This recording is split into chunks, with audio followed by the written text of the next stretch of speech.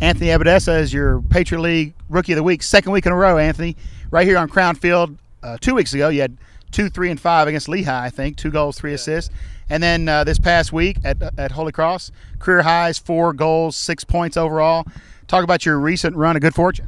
Yeah, I mean it's been great being able to contribute like that. I mean, uh, running some good luck, my confidence is high, so it's showing on the field. I'm happy with it.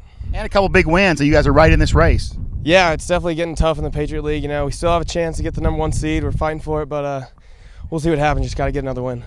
Yeah, talk about uh, how you uh, meshed so well with the offense this year. I mean, come in, and made an impact right away. Yeah, the offense is great. I mean, working with Coach Abbott a lot. You know, all the other guys they work great. The motion's great. I love getting to getting to dodge from behind, so it's working well. And uh, big week of practice. I know you guys are getting started here today. Uh, uh, can't can't do anything better than playing for a championship, right? Yeah, I know it's exciting, and we're excited for it.